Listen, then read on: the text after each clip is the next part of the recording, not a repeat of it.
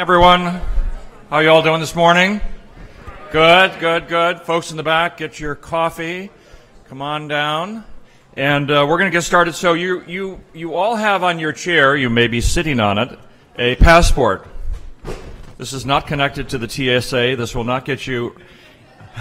You'll still have to take your shoes off. Um, this is a little passport that we did um, to announce our latest edition of our uh, World Culinary Arts uh, Savoring the Best of World Flavors project that we've been running for many, many years, well over 10 years, uh, with uh, Unilever Food Solutions. And hopefully, many of you have seen, all of you have seen, hopefully, all the great videos that we have been able to shoot um, all over the world as a result of this. Um, as I mentioned in my opening remarks, uh, part of the whole impetus behind creating the Worlds of Flavor conference series was to capture the best of uh, these gold standards in world cuisines, going back to the mother cultures and really seeing what's going on there uh, and inspiring us because we're all busy.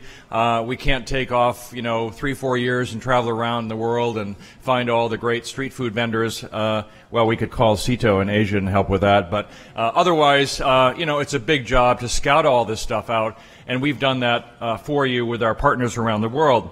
Um, so we're very grateful to uh, Unilever uh, Food Solutions for their partnership uh, on this. And um, you know, a lot of the, the past videos are still available. Um, this will give you a guide to the current um, uh, program that's coming up, including how to access the, the, the site, how to access the recipes. Um, this is the 12th edition coming up. And uh, we're going to just now I think, preview. uh, this is just being launched.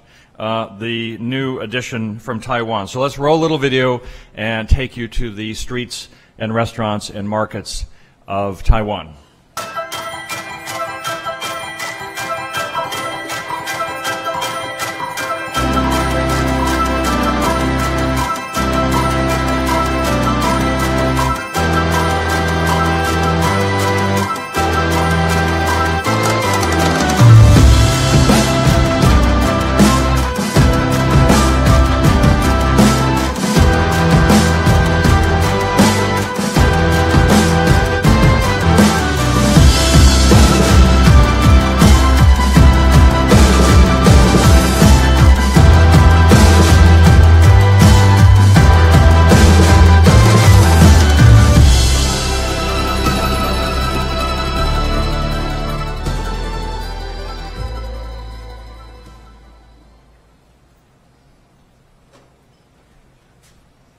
Hungry again already, right?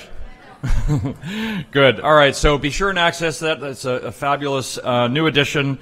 Uh, the series won a couple of James Beard Awards, and uh, we're really proud of our digital media team that puts this all together. Um, so another great year for, for that team and that effort. And with that, I'm going to turn the podium back to Anne McBride, who's going to introduce our first session this morning. Thank you. Good morning. The music of this video is really killer. We were dancing backstage, so you can even watch it without the uh, without the just listen to it and get going in the morning. That's awesome. Unilever, CIA together for a, uh, an active morning. Who would have thought about that? Um, I want to make just a quick announcement. Uh, we are asking that you please complete the evaluation in the app, the evaluation of the conference. As uh, those of you who know, who've been here before know, we take them very seriously. We use that to plan future programming, um, to fix uh, and improve every single year over the other, the, the next. So uh, please submit in the app. If you'd prefer to, to submit your comments on paper, we will have paper evaluations in the back as soon as breakfast is cleared out a little bit later. And by completing your evaluation, you get entered to win a free registration to come back for next year's Worlds of Flavor. And as you saw yesterday, next year is our 20th celebration anniversary. So um, there will be lots of really wonderful things in store, and you don't want to miss that you also should register. And even if you win a registration, please get 10 of your closest colleagues and friends to register, okay? Little deal. Um, we are now going to talk about innovation in the Asian kitchen, and as we saw in uh, Seetoh's keynote on um, Wednesday, um, a lot of what the casual world, um, uh, what casual dining all over the world is doing comes from um, Asia and, and those influences. So um, to take us to through this session, I'm happy to welcome um, our moderator, Jody Eddy, who is the former executive ed- editor of Art Culinaire.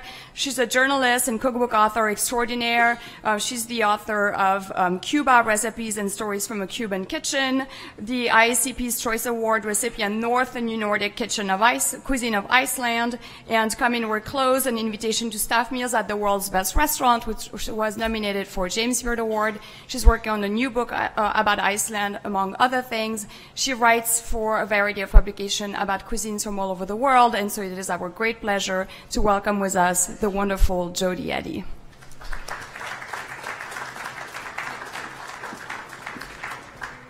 Thank you, Anne. Good morning. You made it. Um, so today I'm really thrilled about this incredibly dynamic program we have ahead of us. Um, we'll explore the innovation chefs are employing at their Asian-inspired restaurants in Singapore, Chicago, New York, and Brunswick, Maine. Many of the chefs presenting today work their way around the world before opening their restaurants. Some claim Asian ancestry, while others are simply inspired by the extraordinary flavors, techniques, and dishes to be discovered in Asia. The evolution of Asian cuisine has always been driven by casual influences, honed in the dynamic street food markets found throughout Asia. The chefs sharing their dishes and expertise with us today celebrate casual flavors in their restaurants each and every day, driven by the complex and mesmerizing pulse of Asian culinary traditions that fuel their menus.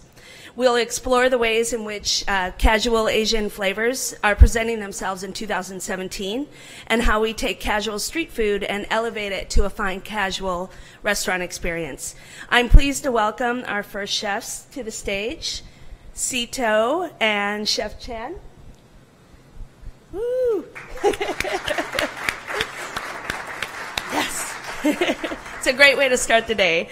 Um, as, as you know um, from his keynote, Seetoh is the founder of Makan Sutra, incredible um, Asian street food guides, and he's the host of the Makan Sutra television series, which explores the hawker centers of Singapore and the Philippines. Uh, the Asian edition of the Wall Street Journal says that the best way to eat in Singapore is to buy Makan Sutra, and I tend to agree. Um, Seetoh is also one of the organizers of the World Street Food Congress that's taking place at the end of May this year. And I highly recommend if you have the opportunity to attend and participate. He's also the founder of the Street Food Pro uh, 360 course, which is conducted and curated by Makan Sutra employees. It aims to skill a new generation of current and potential food industry professionals with more than just kitchen and cooking techniques. It seeks to give them a broad stroke perspective of the complex street food business, from cooking, food court and stall management, different street food businesses, design approaches, regional expansion ideas, and success models, to even conducting oneself on social media. One of its speakers and presenters is Chef Chan of HK Street Chun Kee, and I'm pleased to welcome both incredible chefs to the stage today. Thank you. Thank you. Good morning. Morning. So this is uh, Chef Chan, uh, and he speaks horrible English.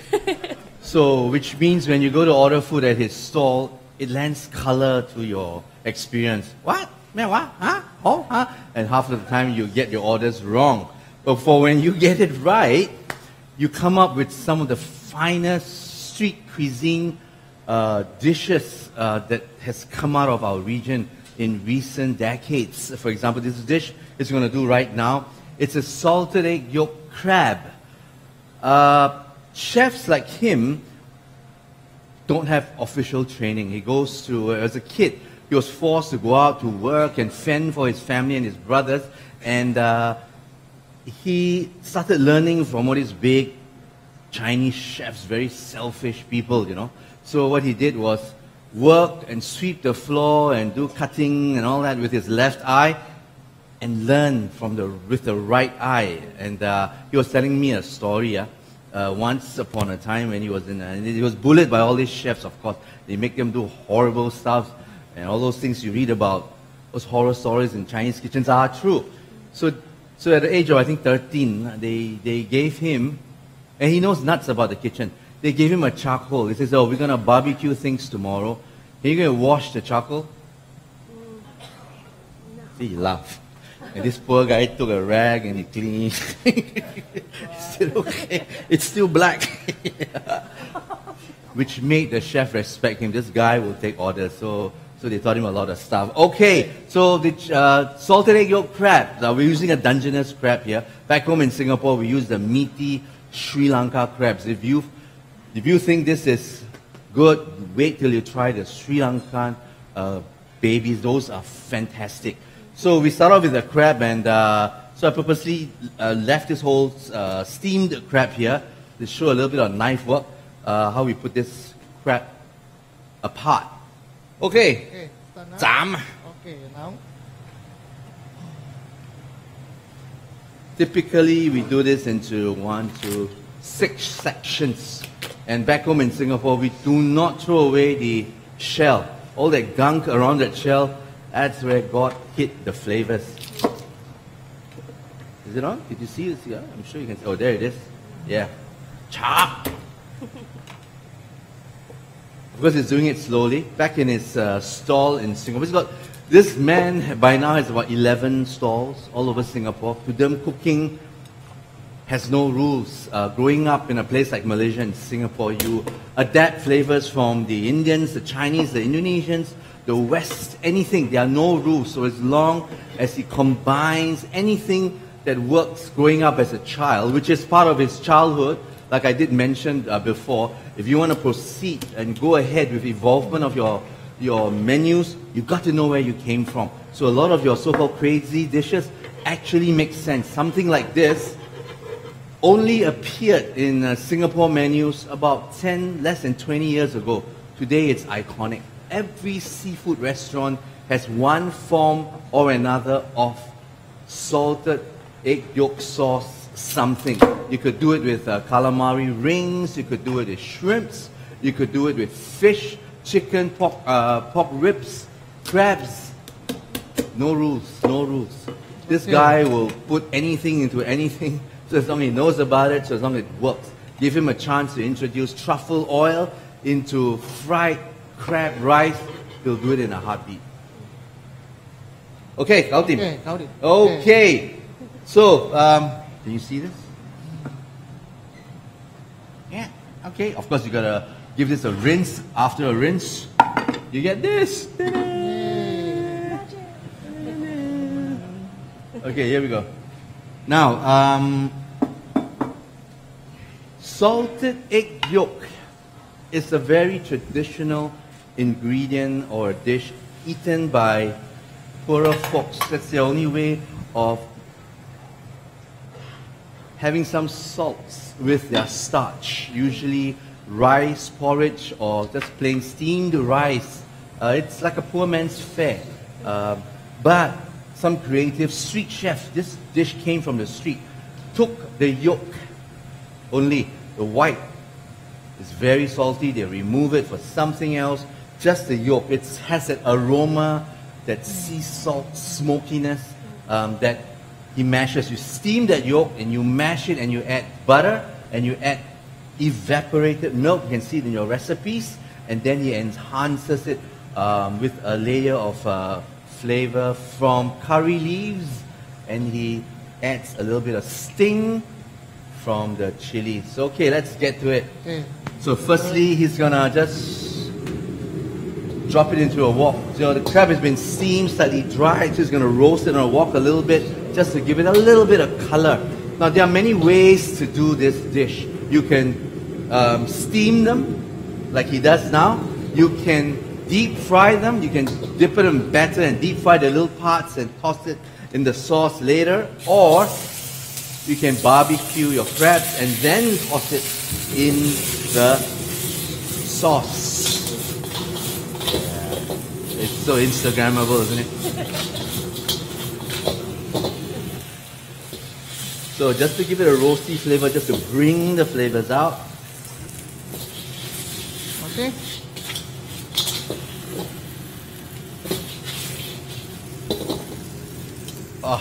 Yeah. Yeah. Okay, put it to. No. You know, when you're doing something like this, you know, we just it looks good, but the art of doing something like this, you got to know when to stop. You know, it's fun dragging, dragging it can burn very easily, but one of the skills involved in a, in a well, with a Chinese chef in doing something like this, they know when to stop, and the nose tells them, the nose and the eyes tells them when to stop. You can just go on and on, you can burn it. Okay, Yes, go, go, carry Yeah, on. Okay, yeah. don't worry, don't worry. Butter. Butter? Yes, yeah. There's no such thing as too little butter. If you are counting calories, you may leave this room now. Yeah, milk. This is evaporated milk. Sometimes you can add half and half evaporated and coconut milk for that layer of extra sin. Sorry? He just added a second ingredient. What was that? Oh yeah, that was the salted egg yolk. Uh, he puts it, he mash it. it. When you steam it, it's quite soft. Press it into a wok, it just disintegrates into curry. the butter. This is curry leaves. Chili, chili uh, bird's eye chili just for a little sting, and then the. Mind you, look at all that sauce. It's for one crab.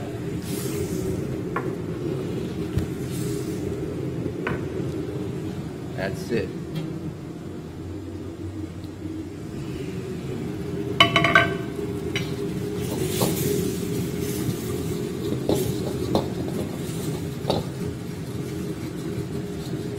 So he reduces it to a certain thickness before he drops the crabs in and gives it a toss. Can you, can you all kind of imagine in your head what this tastes like? Butter, uh, salted egg yolk, which isn't salty, uh, and all that milky goodness with the aroma of curry leaves and chili. So if you don't know, come to his station at lunch. It's got limited portions. he's at, at lunch. He's going to do the tempura version. Each and every piece will be dunked in a, a batter, deep fried, and then tossed in that same sinful sauce. Cáo chị ra.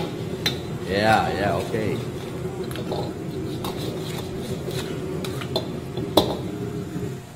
So today he has about 11 stalls and he sells all kinds of stuff from noodles to seafood to roasted meats. How are we for time? Are we okay? Yeah, you're great. Oh, oh, well, I've got time to sing a song. no, no, no, no, no. Okay, I'm gonna test the sauce. Street style. Oh, Guess what it needs? no. How'd you guess? How'd you guess? Okay, thank you very much. There it is. Yeah, thank you. Thank you very much. You wanna take a question? We got some Yeah, time, or absolutely. anybody We have has uh, any time. question for Chef Chan or myself? any questions this morning? Yes, sir. Is the recipe for salted egg yolks included? So you in got to buy them separately from. Uh, no, no, of course it's in there. Yeah. It's in there. All the recipes Use are, are the- on the app. The, The best crabs to use is your Alaskan crabs. Sweet and this uh, sm- smoky saltiness, made in heaven. One more question, anybody? Any more? Morning. We're just getting started. We're getting started only. yes. Where does the smokiness come from? Is that the salted egg? The fire, and when you roast it, salted egg yolk in that fire and the butter. When chefs cook like this, you know, I don't know how to put it uh, across, but over the years watching people cook, um, I realized fire is an ingredient in Chinese kitchens. The way they introduce, the way they burn, it's not just about overburning things. There's a technique, the strength of the fire, the type of fire, jet fire, spread fire, multi-ring fire. So I'm, I'm, I'm also studying, and these are things that chefs learn on their own over the years from their masters, and the masters don't tell them why. They learn by rote learning, and, and over the years, I can tell you it's an art. Using fire as an ingredient is, is, is really an art in the Chinese kitchens. Okay? Thank you, people. Good night. Thank you so Good night. much. Good night.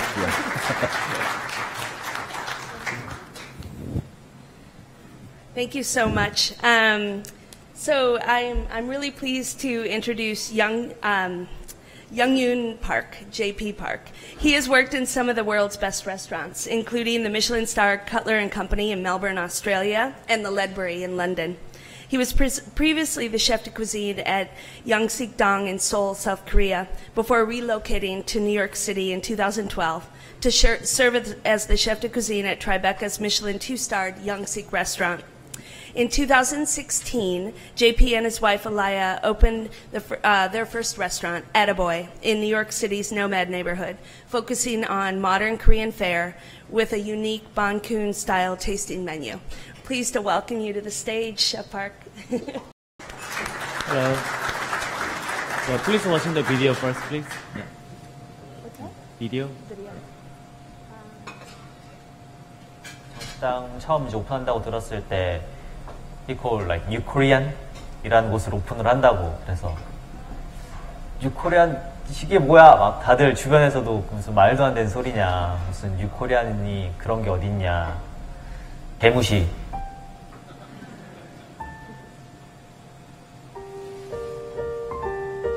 항상 많은 사람들이 물어봤거든요 이게 한국 음식이냐 아니냐 저 스스로도 되게 많이 헷갈렸고 그냥 어떻게 보면은 한국적인 디시에다가 그냥 서양의 테크닉을 그냥 접목시킨 정도니까. 그래도 어쨌든 그게 시발점이 돼서 많은 사람들이 새로운 방향으로 보기 시작을 했던 것 같아요.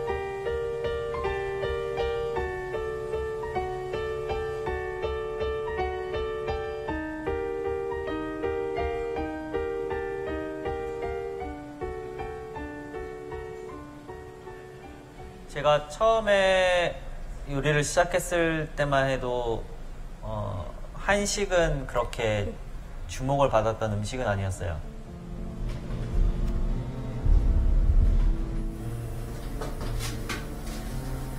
저의 목표는 그동안의 저의 많은 경험들을 통해서 한국에 돌아가서 되게 멋있는 레스토랑 하나 열어보자. 근데 그러다가 어느 날 차라리 뉴욕에도 오픈하는 건 어떨까?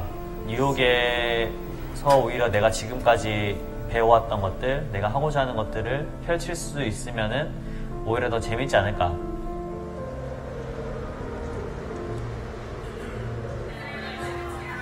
아토가 순 우리말로 어, 선물이라는 뜻이래요. 여기에 줄 수 있는 선물이 무엇일까 고민을 많이 했었는데 그것 중에 하나가 저는 그 반찬의 문화. 전 개인적으로 반찬이 사이드 디시라고 생각하지 않아요. 이제 레스토랑으로 봤을 때 너무 반찬이 너무 공짜로 주어지는 그냥 사이드 디시의 개념이다 보니까 저는 이제 그런 디시들에게 어떻게 하면 가치를 줄 수 있을까 그걸 고민을 하다가 아 그러면 직접 손님들이 선택을 하게 하자 그러니까 사람들이 무엇인가를 자기가 직접 선택을 하면은 거기에 그 가치를 두고 싶어 하는 게 있으니까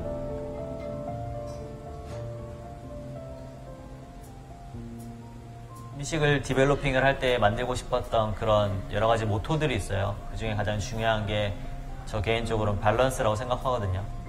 음식에서도 뿐만 아니고 이제 삶에 있어서도 사람들이 밸런스를 찾는 게 되게 중요한데 요즘 너무 막 바쁘고 현대 사회다 보니까 빨리빨리 지나가고 사람들이 너무 빠르다 보니까 느린 것들에 익숙하지 못한 것 같아요.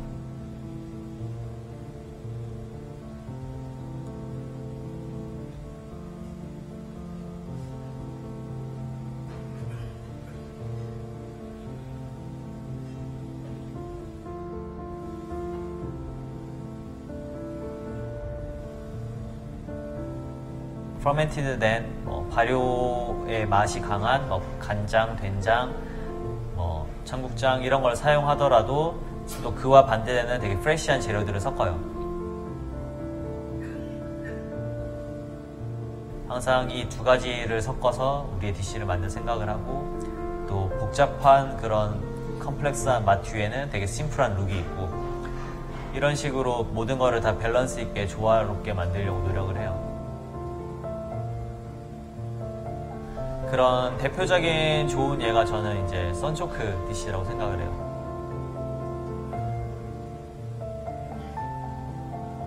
감자조림이라는 그 한국 음식에서 모티브를 땄는데 저희는 그 계절감과 그런 거를 드러낼 수 있는 선초크를 쓴 거죠.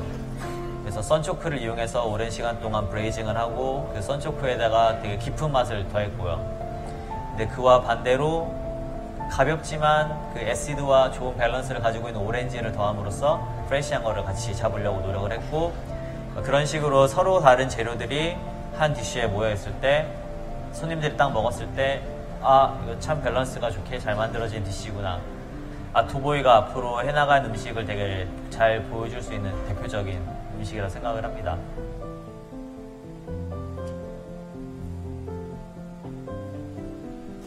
우리가 음식을 준비하는 과정에 있어서도 많은 부분들이 되게 천천히 준비하고 천천히 오랫동안 시간을 가지고 손님들을 위해서 그 준비하는 그 과정들이 있으니까 그 과정들이 언젠간 손님들에게 전달이 되지 않을까. 그래서 그 음식을 먹으면은 아, 이 사람의 정성, 이 사람이 이 음식을 만들기 위해서 얼마나 오랜 시간을 날 위해 소비를 했구나. 라는 걸 느끼면서 조금 더 자기의 삶에 있어서 뭔가 안정감을 느낄 수 있었으면 좋겠다. 라고 생각을 해요.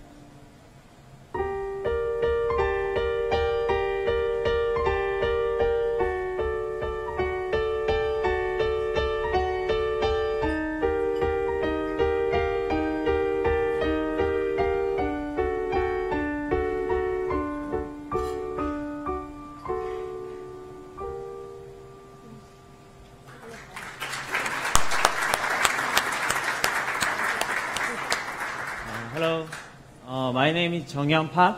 Uh, it's called uh, JP. It's uh, coming from the New York.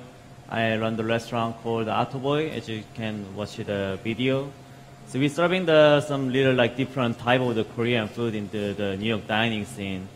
It's for me, it's like I got like many experience, a lot, a lot of the like kitchen from the like from the London to the Melbourne in Korea, and I, I personally love the travel a lot. So I travel like more than 30 country. So like when I go to some other country, I tasting like a lot of things from the market onto the like really good restaurant as well. So my restaurant themselves is like kind of mashable together about my experience. You know, I'm born, in, born and raised in Korea, so I also have like really strong like taste bud about the Korean food. But at the same time, I'm using like different technique from the when I learned from the like world famous chef, including the Brett Graham and Andrew McConnell. So I'm quickly going to show you a two dish of tonight, uh, today. And the first one is a it's sunchoke dish. It's like the one of the, our signature menu. And the first thing we're gonna make the dashi with the soy sauce. It's a da- dashi is like kind of basic, like kind of stock or sauce for the all a lot of like Asian countries using for it. So we're making the dashi with the this is dashima. It's like also known as kombu. And we just like the put in the cold water and then make them like soak in the water and then bring them boil about like 30 minutes until having really strong umami comes out and then take it out. And then after that add some like this is napa cabbage and the mu is like Korean radish and also the scallion and also the ginger and the garlic into it. And this one is like the, we making the braising like soy sauce dashi, so it's contain a lot of like little sugar. And this is a soy sauce. In Korea, we call it ganjang. It's a ganjang and like Japanese soy sauce or Chinese soy sauce. It's like all everything is like made by soybean, and they're almost like same process, but that has like a little bit different like the flavor. So this is the ganjang. It's made, made with like only soybean, like without any wheat. So and then mixing together and then bring up to the boil and then simmering about 30 minutes. It comes out like really like good strong umami and good flavor from the like vegetable and then like sweetness coming from the sugar. So this is like basic soy sauce dashi. And then we're going to braising the this one. This is sunchoke. Sunchoke braising into the like this dashi about like 20 minutes until like really gets soft. So after that soft, it's like comes out like kind of this form. So this is like you can see the inside has been like dyed with the like soy sauce color. So this is like very like common like Korean technique. We're making like any type of the jorim. It's like the kind of braising or some kind of dish. We can using the beef, we can using the potato, we can use like all like different type of vegetable or even the like seafood as well. So I braised it already, so this is like ready to go. And in the meanwhile, I just like heat it up the pan and add a little bit of the like canola oil into it. As you can see, like the oil is like moving like really fast. So that means like it's ready to go. So like turn it down a little bit. And this, I'm, I'm going to add some little bit of the oyster mushroom in it. And season with the salt.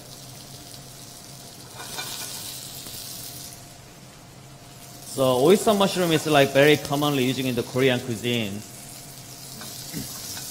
And I love the like the texture and the flavor of the oyster mushroom a lot. The drink and then I I pre I the each chef has like their like preference how to cook the mushroom. But for me it's like I just like like the cooking like really gently. So put into like little bit low heat and like gently cook and then just coming the just from the oyster uh, oyster mushroom is coming out and then it's kind of emulsified with the oil that I put in. So like gently cook it. And during that time, I'm going to slicing the this sunchoke.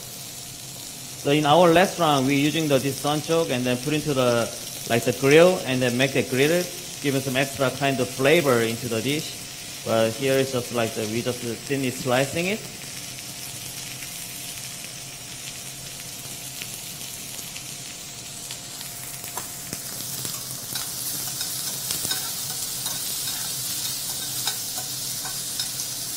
So we're talking about the like balance about our restaurant. As you can see, the this sunchoke has been braising like long time into the soy dashi, giving some extra deep flavor and extra earthy flavor. And also the the oyster mushroom has been like like cooking really like slowly on the stove. But the, meanwhile, it's going to be serving with like this like the fresh orange and serving with this like crispy sunchoke. And crispy sunchoke has been like really deep fried like really quickly, like compared to this one. This one is kind of like slowly cooked. This one is like really fastly cooked. And oyster mushroom really earthy and slowly cooked. And this one is really fresh and really good acid. So when I designed all the menu, like I got like really a lot of inspiration from the, my like like old experience. Also, I'm always thinking about the balance. Like something, if there's something is like too earthy, then might be needed something like sharpened. Or if it's too sharpened, then might be something round. So this is uh, how I developing the menu all the time.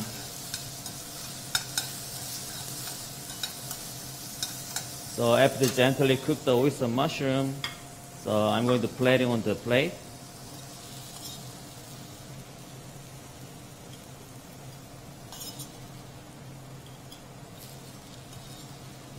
So I developed this menu like last year fall.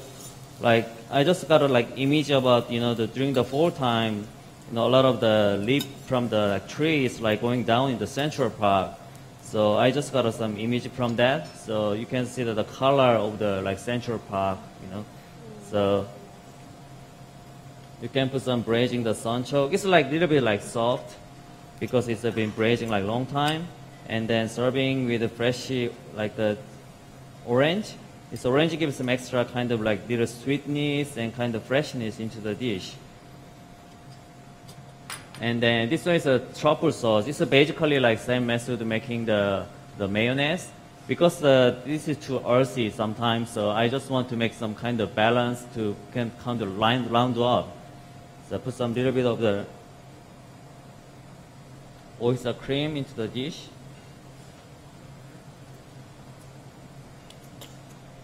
And then this is like soy dashi. It's the same dashi with it because after cooking the, after braising the, the sunchoke, the flavor is like really amazing. So I just put in a little bit into the dish. And then this is horseradish oil, so give it some extra kind of sharpness into the dish. And then finishing with this like crispy sunchoke on top. So as you can see, like there's like not too many things about the Korean food, but there's a background about the knowledge about the technique. Is there's a lot of the Korean. You can see if you come to my, our restaurant, our pantry is like all made with Korean ingredient, or Korean sauce, or fermented sauce. So, but the visual wise, like kind of like modern restaurant. That's I'm doing what am I doing in the Atoboy restaurant now. Thank you so much.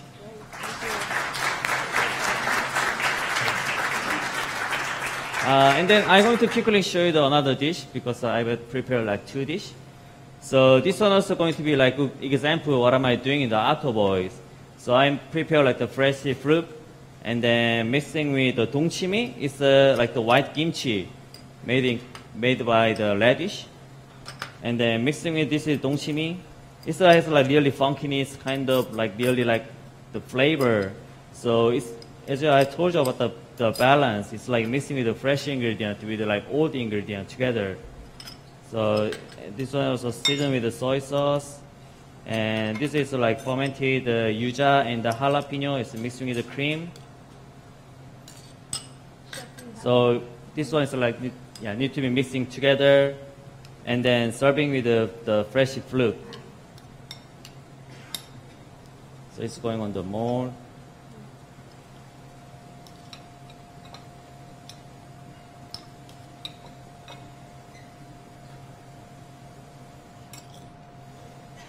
And also, I'm doing the some marketplace today. So if you guys have any question about the Atoboy or some of my cuisine, just like come to the downstairs and then please ask me whatever you guys want. yeah. So this is the other dish. It's a fluke. Thank you so much. Amazing. Thank you very much.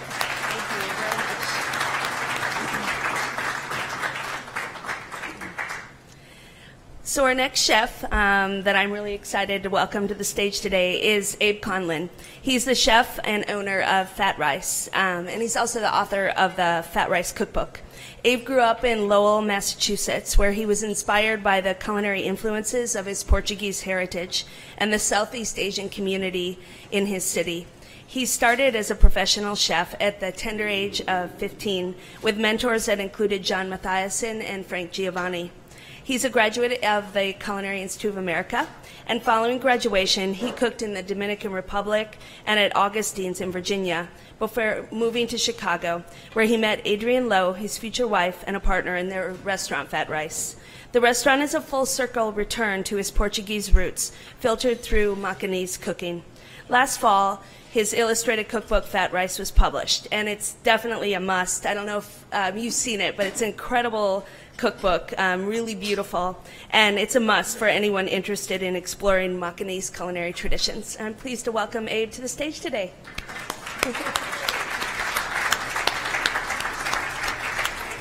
Thank you very much, everybody. It's a pleasure to be here. It's been an amazing weekend. Um, this dish, uh, what we're doing uh, at Fat Rice, like Jody said, uh, we explore uh, the food of Macau. We started with the food of Macau, a mixture of Portuguese, Chinese, Malay, Indian, but also we explore heritage recipes that built those, that cuisine. So we look at Eurasian communities in Malaysia, in Goa, but even all the way to uh, Portugal and Brazil this dish is not a heritage recipe. This is this is a dish that predates Fat Rice, the restaurant. Um, before we opened the restaurant, uh, I envisioned myself cooking these large, beautiful surf clams from Ipswich um, in some nondescript counter and and simply just serving them on the half shell. So we dedicated eight pages in the book two months of extensive back and forth uh, work with the illustrations on how to break these uh, animals down and how to cook them with a with a with a wok comic. Um, I'm going to do this in 15 minutes or so. Okay, so um, this is a combination. I got frustrated when I would go to a Chinese restaurant and they and I would get a live uh, piece of shellfish, whether it was a, a scallop or a surf clam in this particular case, and it was steamed with mung bean noodle, black bean, scallion, cilantro, and garlic.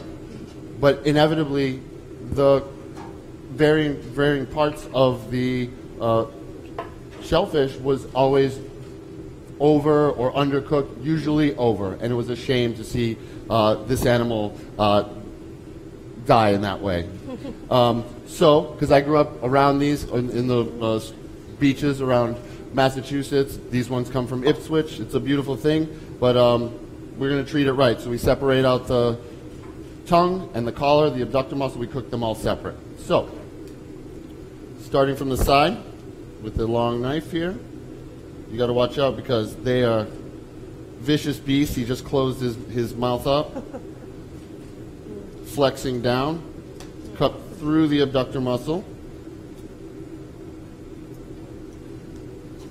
On both sides. Opens up like that.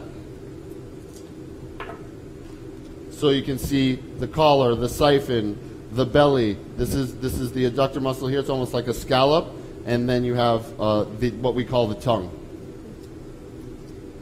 Again, we do the other side.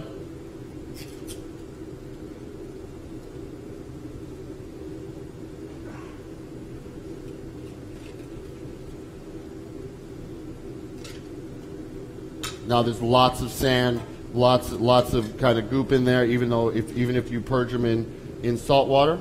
So what we do is we have some salted ice water, cut the abductor muscle off, along with the collar, the siphon. Move that to the side. We have the lungs here. Those get removed. The belly. Remove that as well. And then you have the foot, one abductor muscle, two abductor muscle,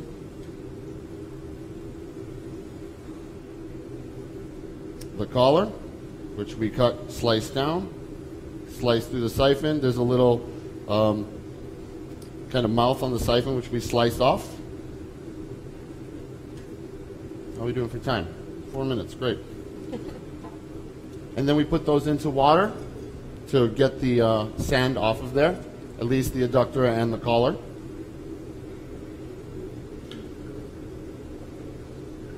If you want, we can do our shells, but through the magic of television, I've already boiled my shells.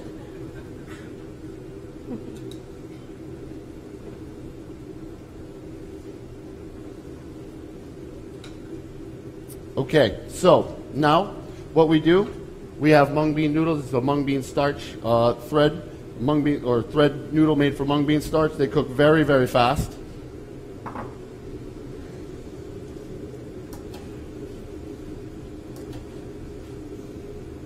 So while we're doing that, this is soaking.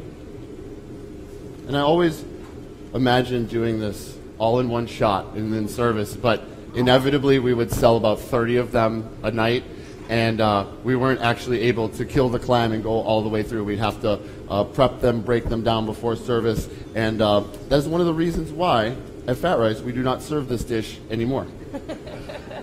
Because it is also very hard to get the Ipswich clam delivered to Chicago live, unbroken, fresh.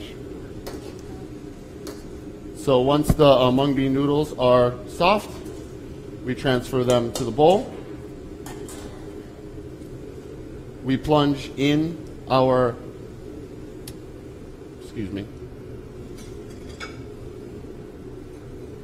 we plunge in our tongue. Five seconds. One, two, three, four, five. Shock. I'm going to turn this down a little bit. So we're going to let that let that uh, cool for a minute.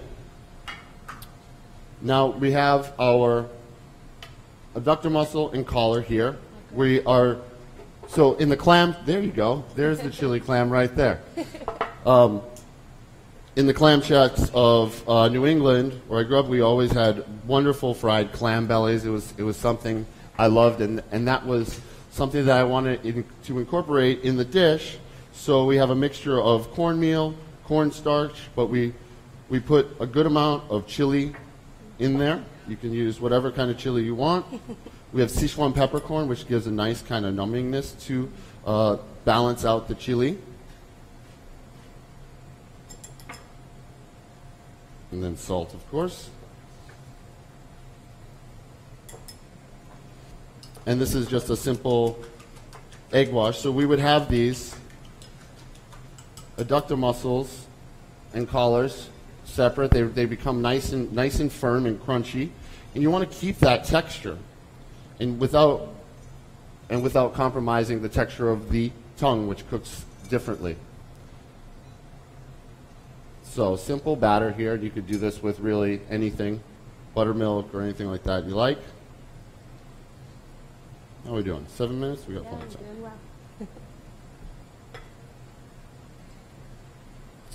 So, um, this is a really interesting dish that I, I just I just love. It's a combination of my my culture and my upbringing and uh, Chinese cuisine, which I love, and, and absolutely delicious fresh seafood. So I'm going to hold on to this over here. We're going to get to frying that in a moment. That's going to happen at the very last minute. For the noodles, what we're going to do here, we have a little bit of butter, a good amount of garlic.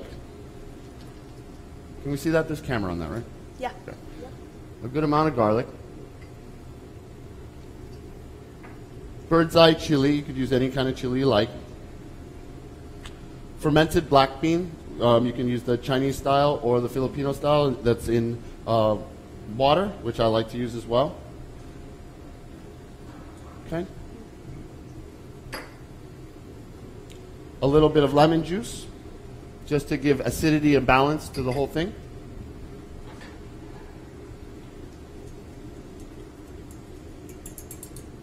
And we combine that with our mung bean noodles.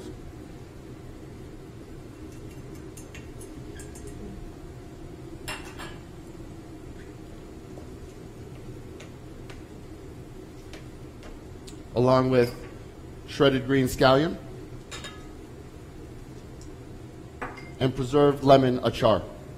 Uh, this is, you know, a wonderful condiment that many chefs use these days, and um, in Macau they call it uh, achar de uh, limon de Timor, which from from Timor, Indonesia, and uh, really just delicious salted uh, lemon pickle. So we have our noodles mixed there. I'm going to move this back here.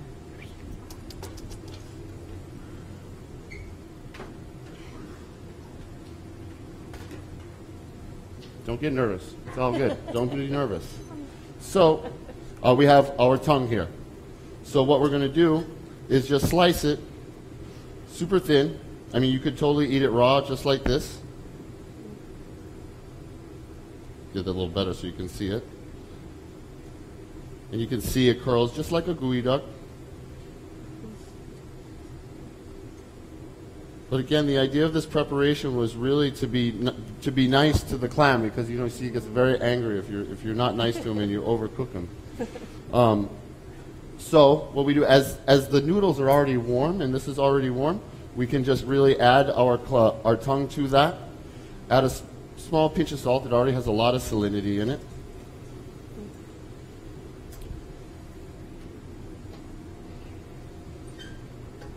And then we get ready to steam. So we load up our clams here, four minutes. A little bit of noodle. This is a good. This seems like a lot of work to go for an appetizer just for two, but it's definitely a fun one for sure. But sadly, not offered in the restaurant any longer. Sadly, what? Not offered in the restaurant. Not, any uh. I, you know, I might. We have had a lot of protests. You know, it's been, it's been actually really great and interesting since the book has come out. We have taken a lot of the recipes off of the menu that are in the book, um, just so we can explore other ideas, other other forms of our cuisine. Um, so it's it's been a blessing and a curse. So we are so we have we were getting ready to steam, and while we're getting ready to steam, we're going to do our fry.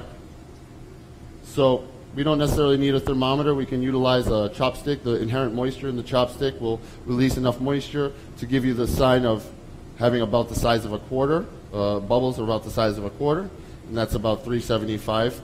So, I'm going to make sure our clam pieces are nice, nicely breaded. I'm just going to take them out so that we don't have too much extra flour. And as you can see, this isn't really steaming. I haven't, I haven't covered it up because, again, I don't want that clam to get angry on me and curl all up.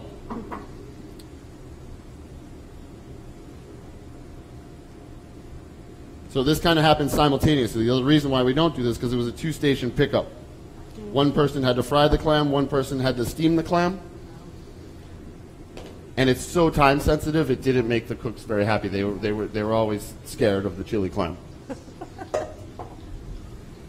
As apparently they should be. as they should be. I mean, look at that thing. No, my set, my our artist Sarah Becan, um, who's amazing, who actually Chef Matthias also works with in Logan Square.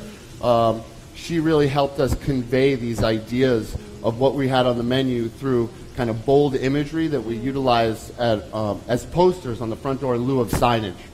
So um, again, the chili clam was the first uh, picture that she drew, and obviously the one we wanted to have on the cover of the book. So,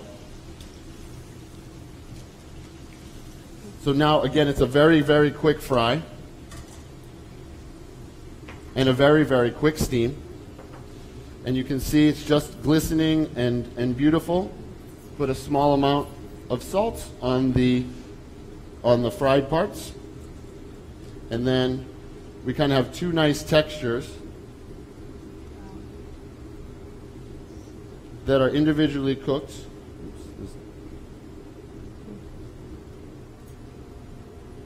A little cilantro. At Fat Rice, cilantro is a vegetable. We love it. It really, it really gives amazing contrast to lots of the dishes that we do that are that are rich or fatty, and um, it's an amazing thing that we, we love. And uh, I think that's it.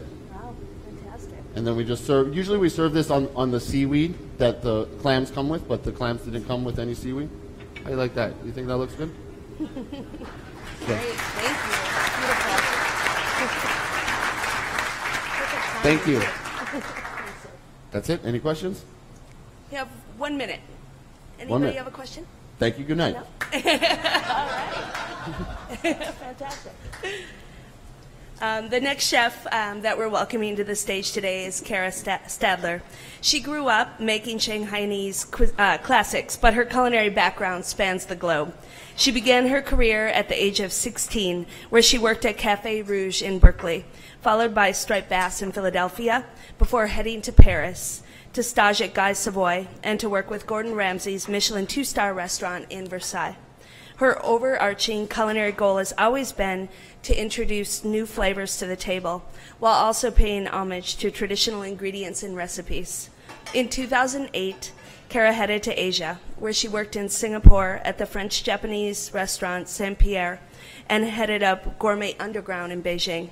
In 2009, she moved to Shanghai and began her long standing relationship with one of China's most esteemed restaurateurs, David Laris.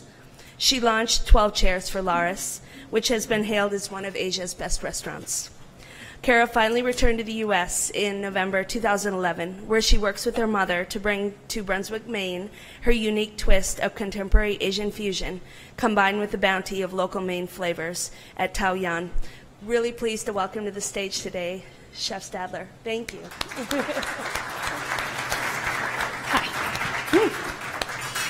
Okay, so hi. Uh, the dish we're doing today is called uh, Doufu. It's a dish that I ate many years ago in China, totally forgot about, and then went back to again and ate again. It's a, like a Beijing home-style dish, and it stemmed from the fact that we have a restaurant where we try to use everything, and we started making our own tofu. And when you make your own tofu, you're left over with a byproduct of what's called okara in Japanese. It's called tofu pulp in English, but nobody knows what that is. Um, and so we have this, which is this is the end result product.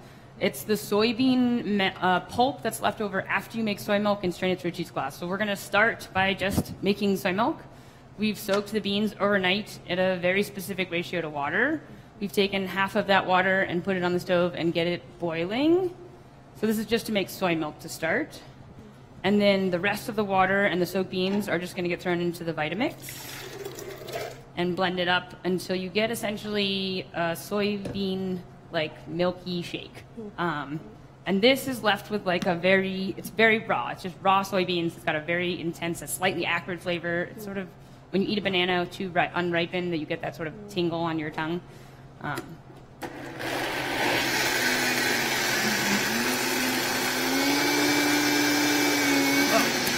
is really loud.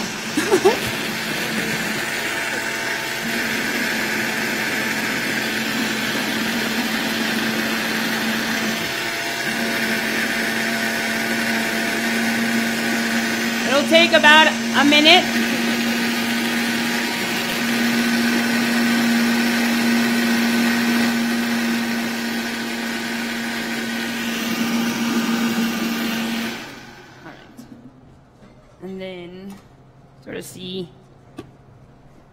Gets a little foamy on top and just looks like soybean puree.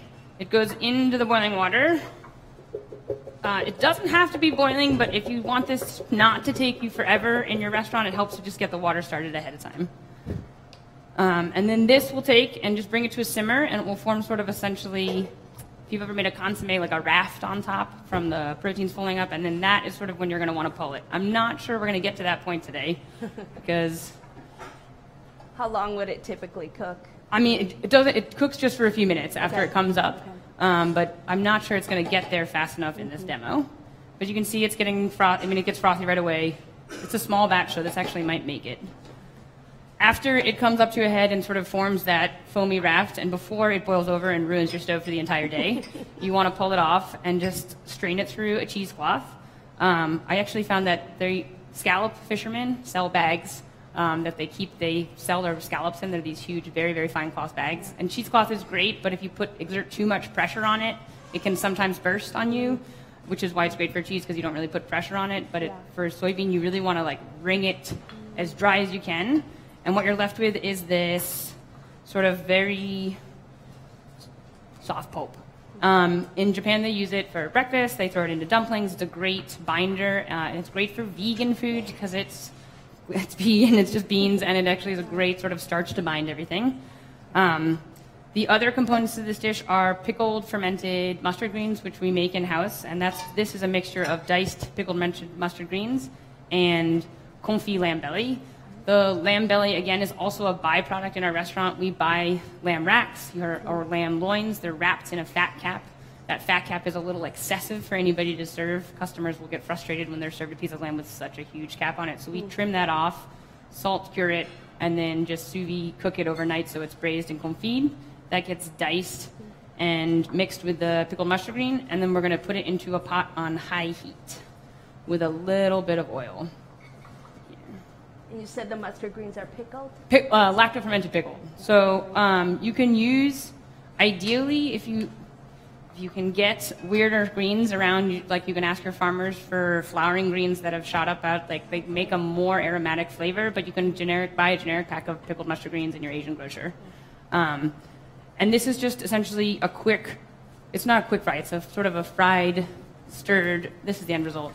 It takes about half an hour to get here. That acridness will mellow out over time, and you need to add in large, large quantities of lamb fat. Um, there was a lot of lamb fat, of which then someone took it and put it on the stove and it went up in flames yesterday. So I don't have the lamb fat to demo for you, but we got some before it all happened and got it into the dish itself. It takes, um, this would take about two cups of lamb fat on its own. So it's about a quart and a half of pulp to two cups of fat. So this is not a healthy dish in any way, shape, or form. Um, you want to put a little fry on the mustard greens. If you take mustard greens, like they're very delicious raw. You can see the head forming right now, by the way. It's like right on the edge. It's starting to come up. Um, so high heat. Take this guy, and you're just going to put a little bit of color on these guys. I also am a big fan of caramelization, and we sort of try to mimic what a wok would do in two seconds in a lot of pans because we're half Asian and half very Western influence. Um, and the lamb's going to start to stick to the bottom. That's fine. It's going to pick up color, and that's also fine because once you add the soybean pulp, that water is going to seep into the base, and it's all going to come off the bottom, and you want all those little brown bits folded back in. And then once you've got that, it starts to stick a little bit, and you can see the mustard greens are popping out of the fat. You're just going to add your okaru, okara, and this will be here for 30 minutes to an hour, and as it goes, we'll add fat and water. So it has Stop. a pretty high smoke point. Um, no, the, now I've just turned it down to super low. So once you've added your, this will burn now. This is where you want to sort of slow it down. Okay. Actually, if I can get some water. We'll slowly add stock or water into it. I mean, I would use stock probably and lamb stock if I had it, but uh, we basically use what we have in water. If you do this as a vegetarian version without the lamb, it's also delicious, and you'd use a canola oil. And then this just goes for about 30 minutes. Um, maybe longer. Just depending on the size of the batch. And over time, that flavor will disappear, and you'll be left with this sort of very rich, semi-funky, very lamby soybean hummus is what it is. Uh, traditionally, there it is. There we go. So that head is forming. I'm going to turn it down. And we'll strain it through.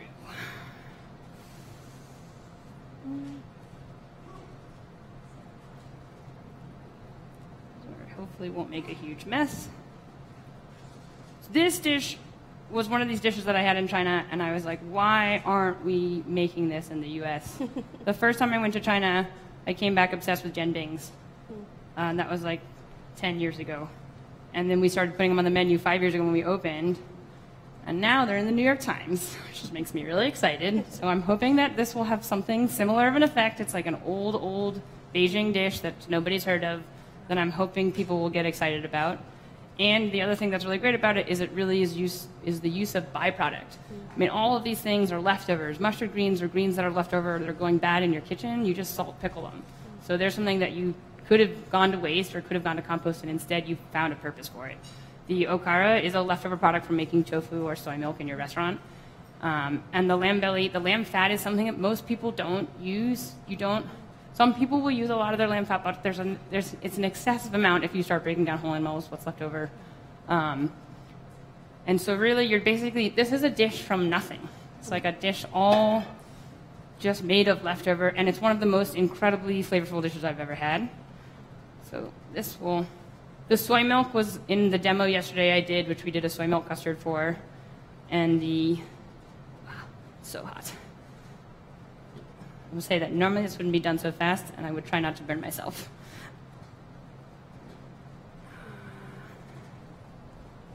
So we'll take that and just twist it. Um, Would you typically let it cool down? um, Yes, for absolutely. several minutes or yes, because? I wouldn't be burning myself. no, but how long would you let it cool? Oh, just till till I can handle it. Okay. I mean, okay. if, if you would probably do it. You want to do it fast enough that you're not. It's a protein, so if you're going to leave this out, I mean, you're leaving a protein out, so it's going to go bad over time. It's going to ferment. Granted, frequently you get a semi-fermented version of this in China, but that is with much more. Con- well, it's actually probably not with much more control. It might not be much more control. Um, but it, the fermented one is really, really good. It's got a much darker hue than the one that I've made, and it's delicious. But I have not done enough experimentation with fermented tofu to feel comfortable enough to be sure that I'm not going to poison one of my guests.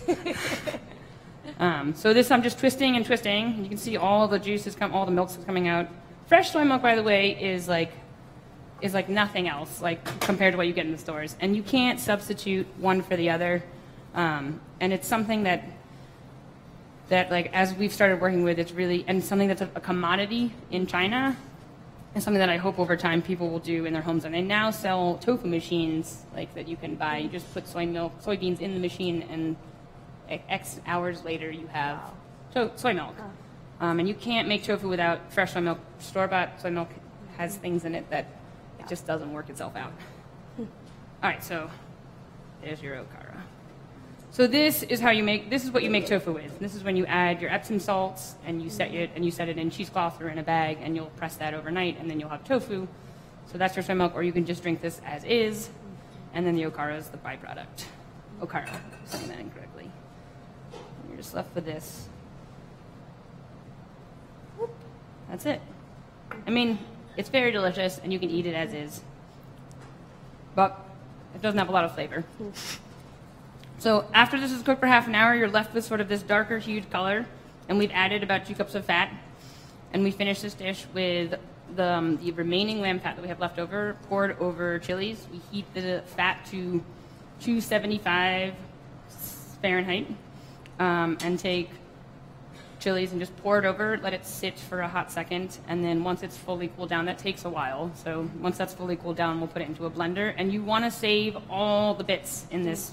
You want all the chili. This is supposed to be a raging, like burn your mouth dish.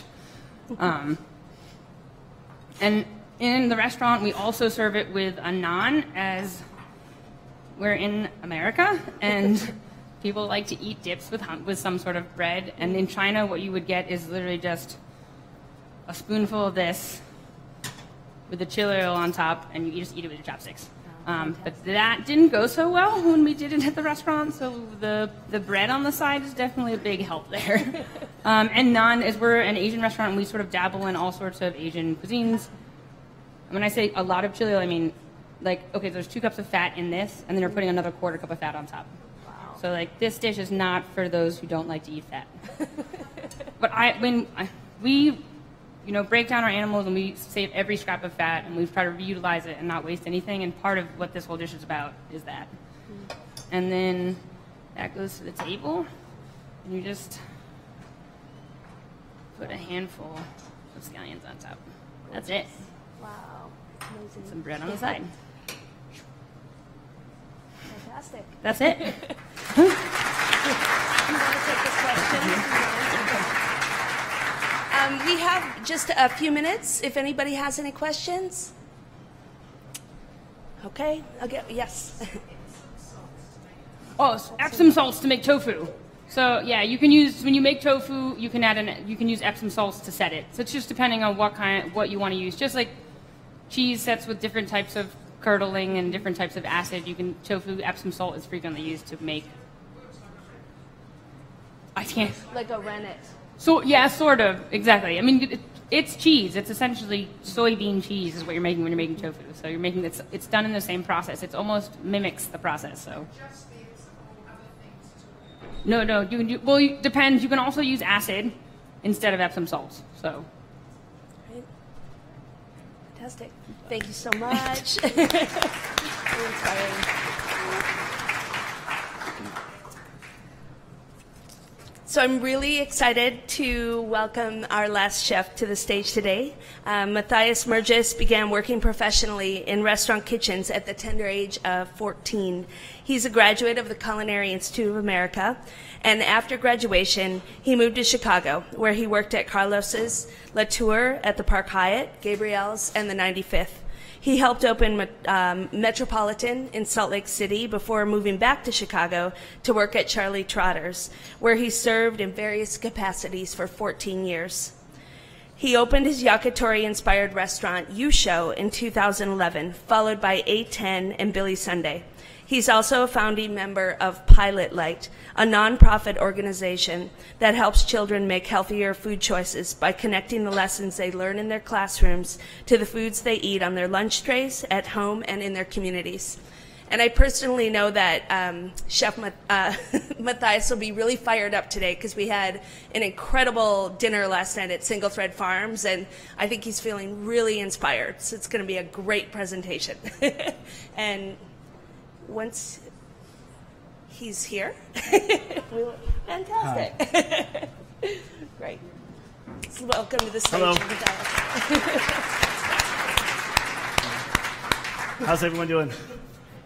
Awesome. So we had uh, we did have an epic, epic meal last night. It was incredible, and it made me uh, kind of change my whole demo today to talk about something completely different. And um, I want to start out with like talking about like the word innovation and what it means.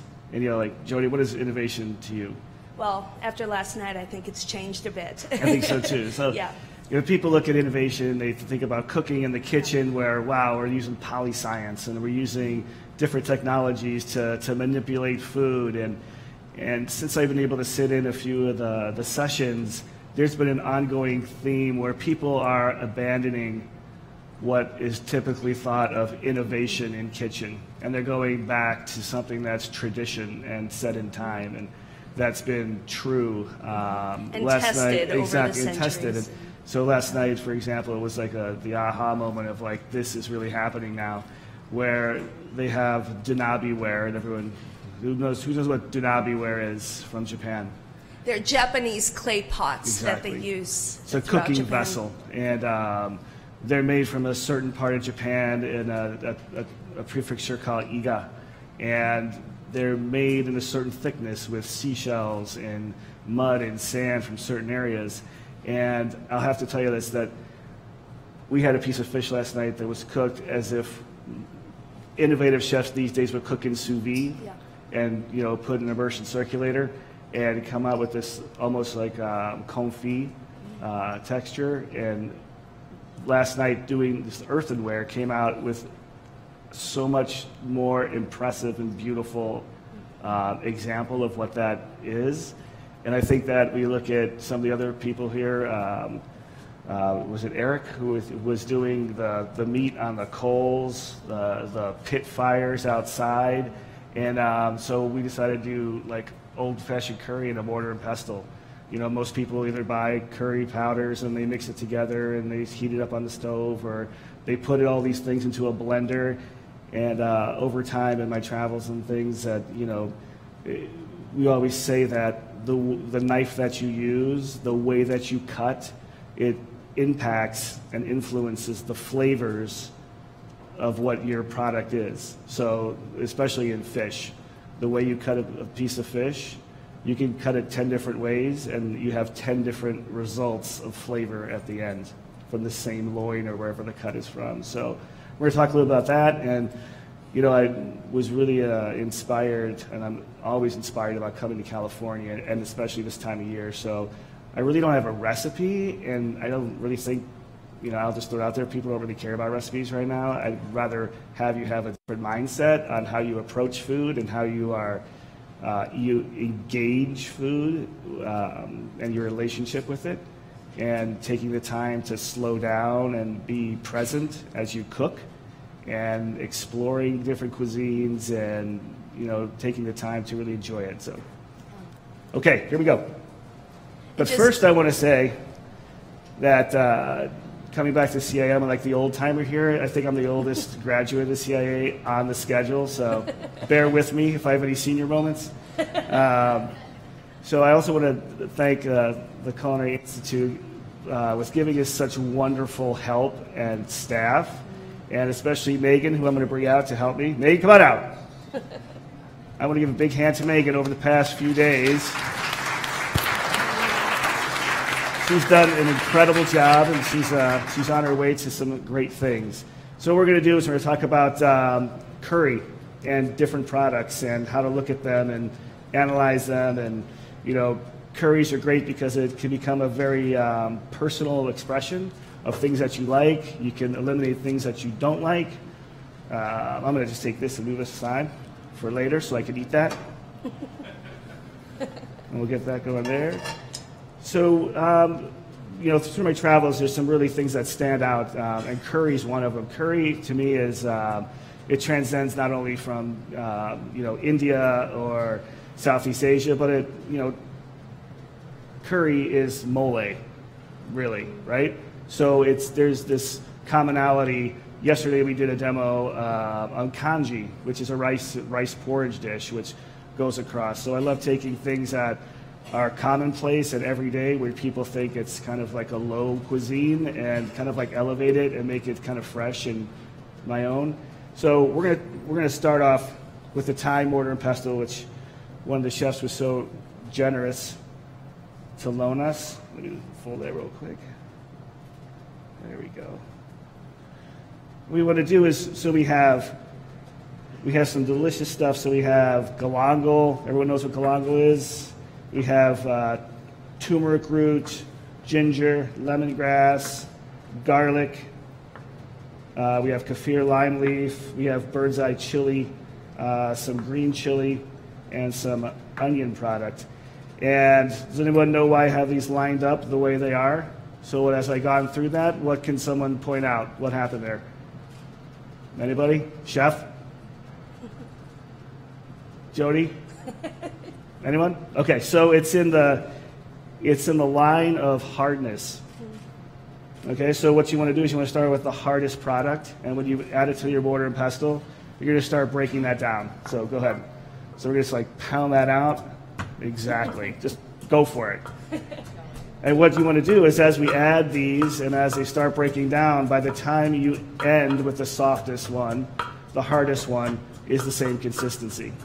So, and what we're doing there is we're starting to build flavor and we're building layers of flavor and we're keeping things super fresh and we're keeping the characteristics of each ingredient as pure as we can. So, I can smell that from here. Do you smell that? It smells awesome. So, let's see what we got going on there. Oh, you got a long way to go.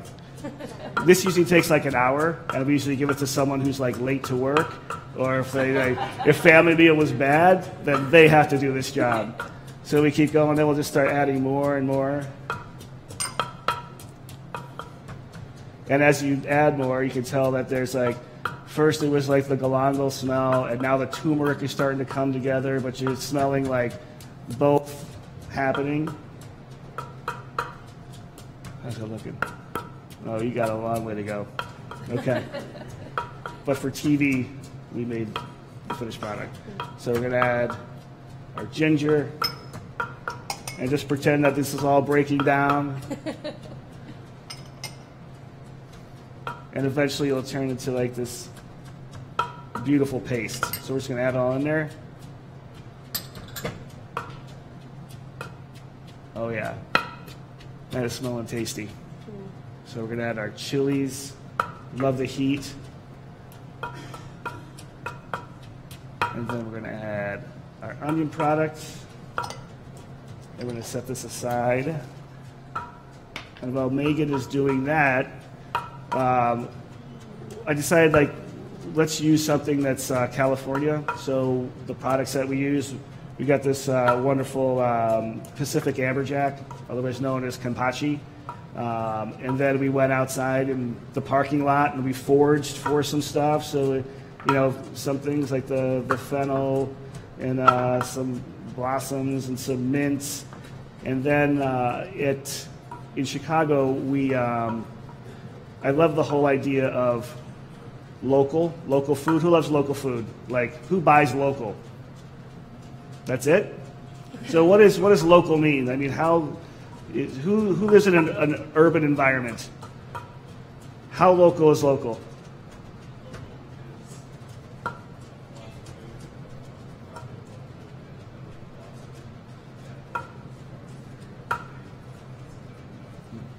So you have like, so like restaurateurs and chefs, especially like in Chicago, we're like, yes, I buy local. I get my pork from northern Michigan, and I get stuff from Ohio, and I get things like that. And I was saying to myself, like, why does it have to be like that? And myself and my wife were really, very uh, philanthropic minded, and we really like to give back to the community a lot. So I think Jody mentioned um, uh, the founding of Pilot Light Chefs, uh, an organization where we create curriculum for teachers to use in classrooms that is uh, in line with the core curriculum, so they can use it every single day for every child.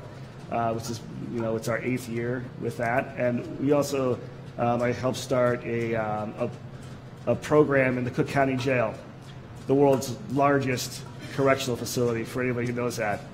Uh, and what we did is we went into the uh, the jail and we created a program with the sheriff, and it's a program for nonviolent felons. So if you're a felon, it's seven years. You're in.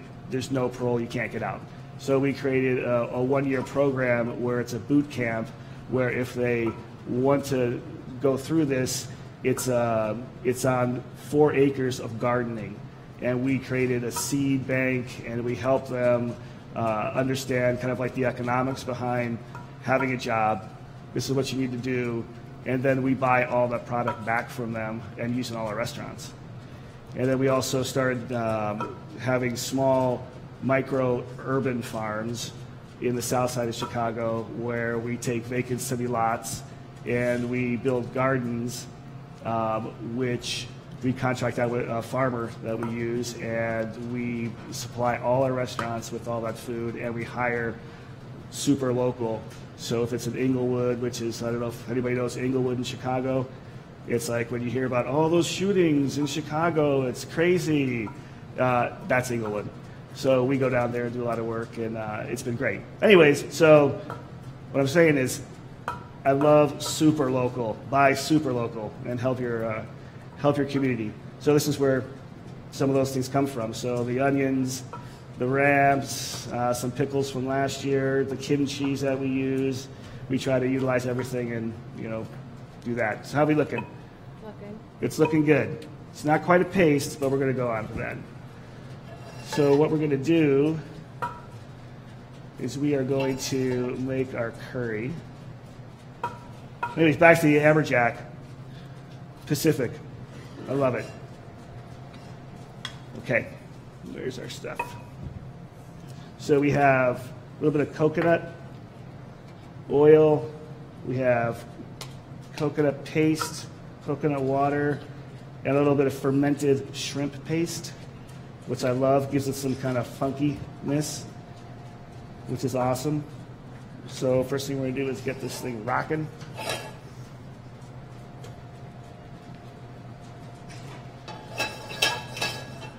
Joe, do you have any questions for me, by the way? I know we talked about this last night. You said you would have a lot.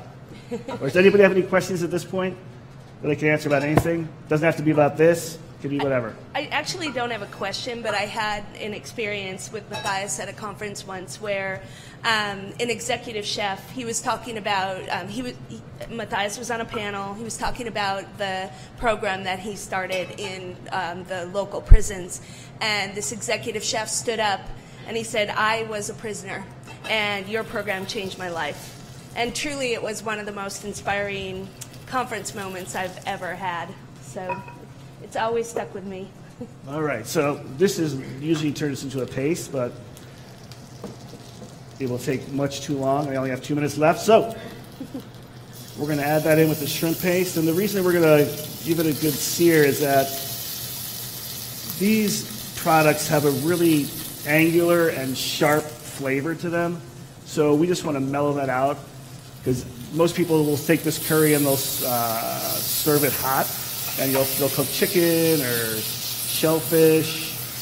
It's really traditional, and, but since it's springtime in Napa Valley, I'm like, we're going to serve it cold. And I love cold curry, especially like if you order from your Thai restaurant around the corner, and then you have like green duck curry, and you wake up in the morning and you like open that little container and you're like eating it cold. so that was kind of like an inspiration for me on that. So we used to do is like cook it out a little bit. We still want to maintain. So you got that shrimp paste and all these flavors starting to meld together. And then you're just gonna your little coconut water.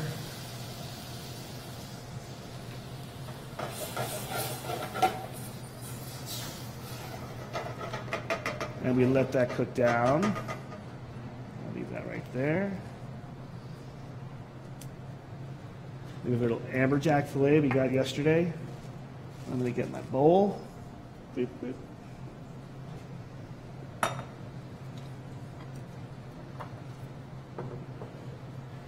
And I love raw fish. I'm a big raw fish lover. I think it's like the perfect thing for spring.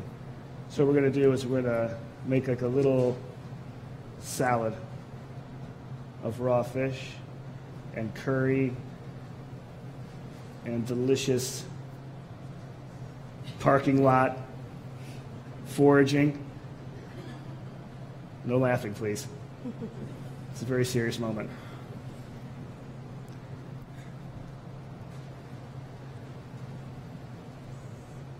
So if you've not been to single thread, you must go immediately, if not sooner. Epic experience. All right, we got zero time left. Sorry. I know everyone wants to get out of here. You have to bear with me for a couple more seconds. So we'll just start there. Put that there. This is cooking down, and then we add our cream coconut. And then this is going to start getting thick and delicious. And then we take that.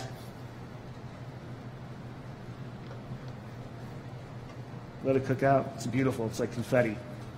This might, well, instead of turning into paste, this might be actually a, a new dish right here. So, what would the next, just to walk us through quickly? Are you saying? Like, you're telling me to stop? okay. So we have this. You take that, you pass it through chinois, you get this.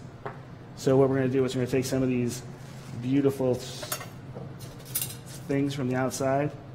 So we have all this deliciousness here. We have some of these things, some fennel from right outside. You guys got to go check it out when you're there. Some of these blossoms we got from this hike we did yesterday, the state park the other day. Some fennel blossoms. And then we'll toss those in with a little bit of vinaigrette. We have like a little salad to clean it up. We're to take a little bit of this stuff here. So these are pickled onions from last year from the gardens. And then we have a little bit of kimchi pickle. We could use nori. So we have this. We take a little bit of curry. I put a little pool in there, like so. Like a little surprise. Then we take this. This will be right in the middle. And then we're gonna take some nori so people can like use their hands. So I love eating with my hands. And we're just gonna throw that in there like this. That's all I got for you. Fantastic. So- Great. Thank you so much. No time for questions. Thank you. See you later. Yeah. Thank you, Matthias. Thank you, Jody. Thank you to all of our other presenters. We are now going to breakout sessions. So if you are going to seminars, you can leave right away. But if you are in kitchen workshops, please wait in the back until I make the announcements. If you are in seminar four, seminar 14, you are in Ecolab on the first floor. To the left, 15 De Bon, to the right, uh, to the right downstairs, Williams, th- that's seminar 16 at the bottom of the hill. Rudd sem- for seminar 17 and 18 is at the top of the hill on the left. And then kitchen workshops, just wait in the back for a little bit. Thank you.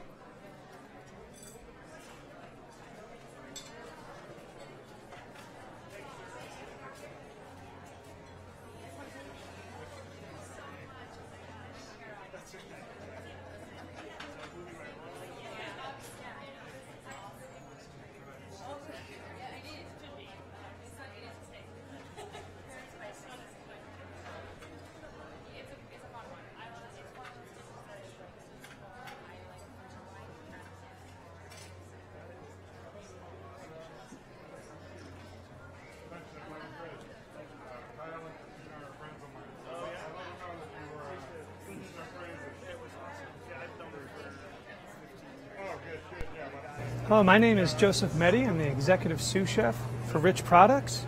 And today we're going to reinvent a classic apple pie. We're going to make a French toast apple pie using Rich's Rich and Easy French toast batter. This is Rich's Italian panini bread, and we're going to make our crust for the apple pie. Just going to take off some of the crust very simply.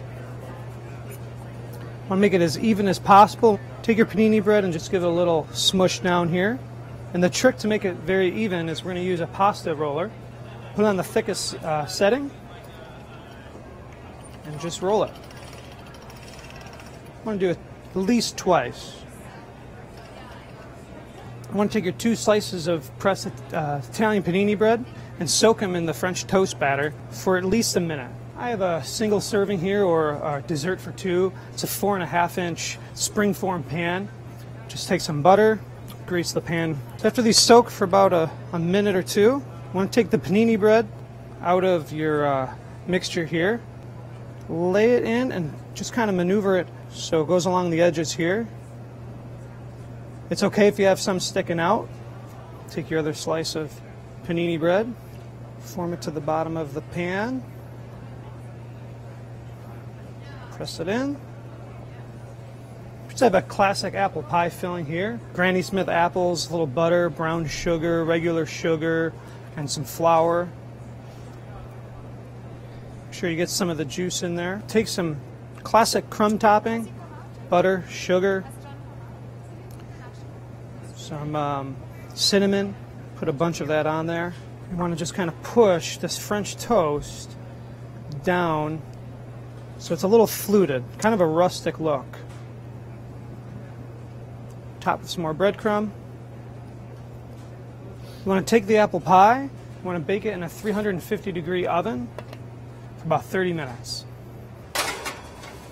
All right, our apple pie has been baking All for about right. 30 If minutes you're in kitchen workshop. We'll K, cool for about in another the third 30 floor teaching so, kitchen, it's easy please to make your way to the landing. pan is Kitchen workshop here. Just makes it easy to serve your plate.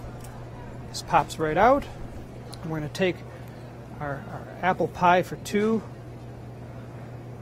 in the center of the plate there. I have a little bit of Rich's creme anglaise, another Rich and Easy product. Garnish the plate with some of this. as your sauce. A little riches on top.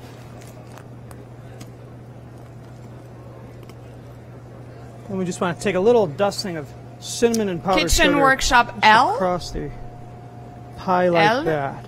Can make your way to the And there landing. you have it. French toast. That's the one taking place in the, uh, restaurant. We used a French toast batter, creme anglaise, riches on top, and Italian panini bread.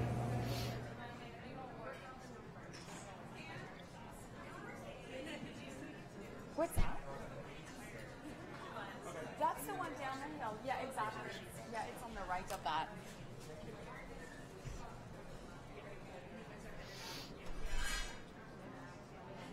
Kitchen Workshop M. M, the Woodstone Live Fire.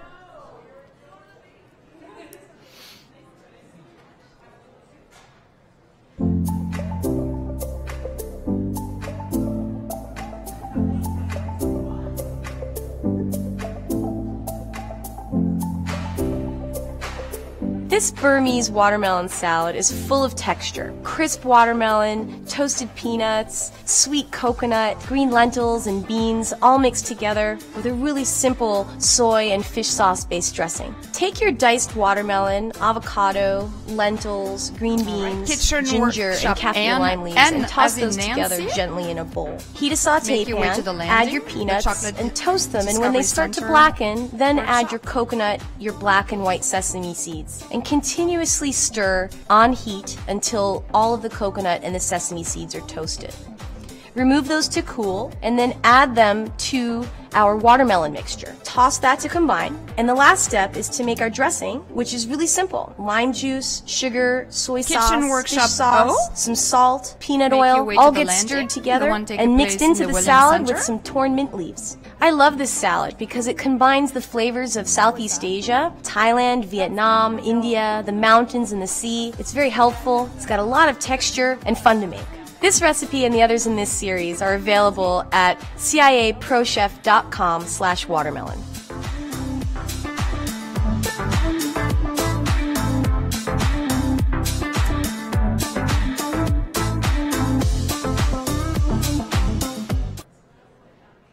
All right.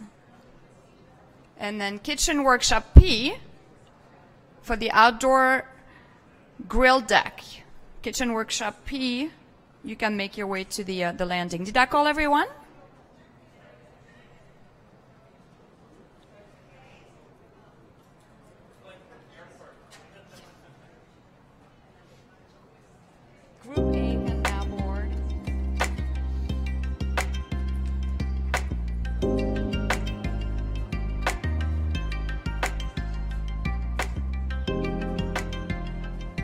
Welcome, welcome. So we're, at uh, my Dou kitchen.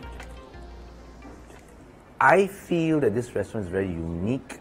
Um, it's located uh, at Zhongshan area, and uh, it's a very humble restaurant.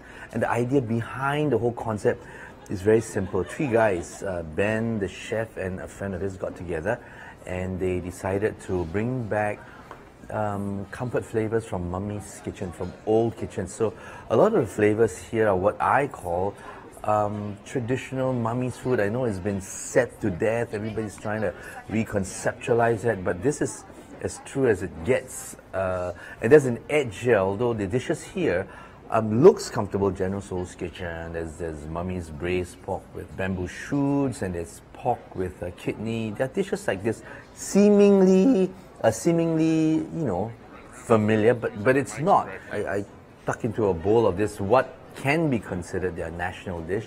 It's braised uh, pork.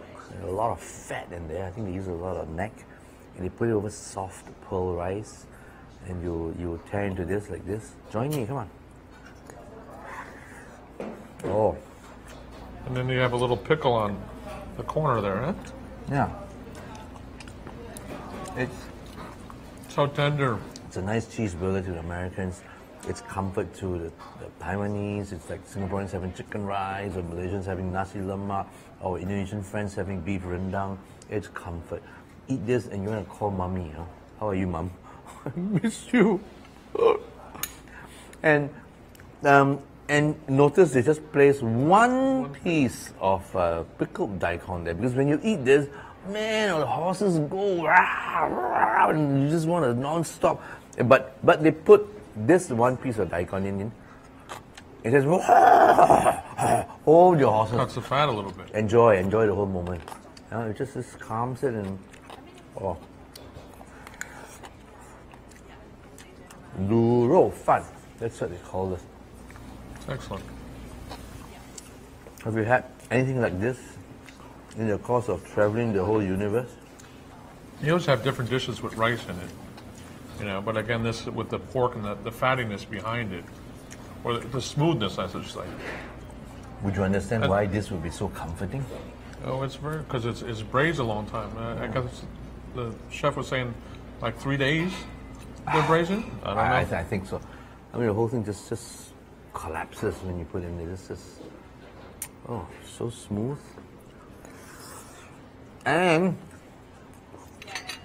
this is the original, or rather, the Taiwanese General Tso's chicken, which is so famous in your neck of the woods. Is it the same? Is it the same? It, looks very close. Okay, I mean, okay. I mean, it looks like uh, you know, uh, it's again the broccoli on the side. It's it's a kind of a chili type sauce, so a little bit of heat behind it, so you can see the the peppers. It's got a little more vinegar in it. It's a little bit hotter than what I had in the states. The ones I had in the States, you know, Seem although, much although they, sweeter, may, they may use uh, vinegar, the vinegar doesn't come through.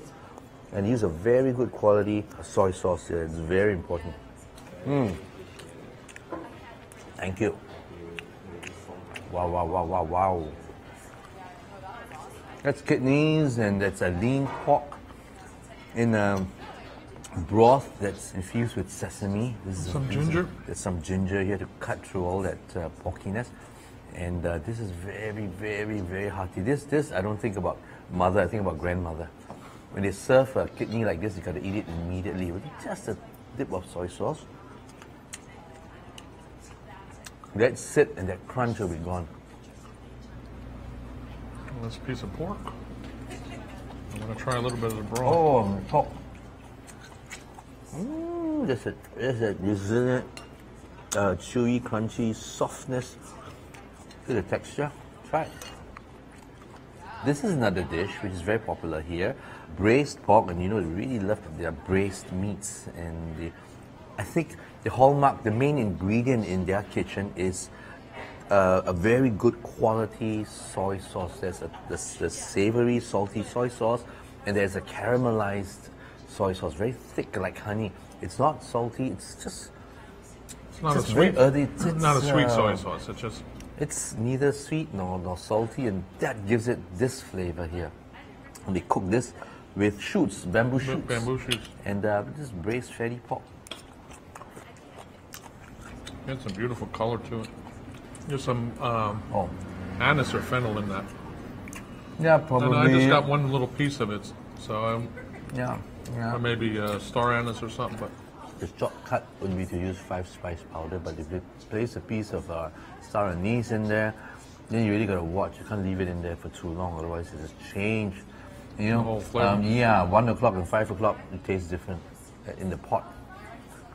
And this this is very interesting too. Uh. Um, I've never had this, but I can certainly feel the comfort behind this dish. It's just chopped uh, chives, and it's stir fried with uh, century eggs and a brown. So preserved eggs, yeah? Preserved eggs, yeah. So you notice there's some heat in here. Yeah. Yeah, it comes from a very special chili from Fengling, uh, and it, you can't see it. It's you know it looks harmless, but the heat is in there. It's really nice. So this is not a dish you can commonly find around, but it feels so much like home. This chili sauce al- al- already has a very thick chili paste. Mhm. I just want you to try the uh, thick soy sauce. What you're about used to give it that, that smoky, sweet, savory sensation. Not this savory soy sauce dip. It's a caramelized uh, soy sauce. It's not salty, and this gives it that smoky, sweet. You know, I was asking about some of the new dishes they're going to come up with, and uh, well, he hopes to get ideas from some of these old chefs in small little villages, concepts of dishes. Sometimes they make offerings to the altar, to the ancestors. Uh, there's this idea about this fried fish that they put on the altar and how um, they would um, take it back and then they cook some vegetables some sauce reduction and they fry the fish again and put it over the fish. So they get all these ideas that comes from society, you know, inspired by um, what Well, history, society too. I mean, it's, it's yeah, history. yeah. So the guy's not really inventing stuff. Right. He's just picking up ideas. And Well, lost, maybe some lost It's items. preservation. It's Right. preservation. Uh, ben, says here. Thank you very much. Yeah. Thank you very much, man. Appreciate it.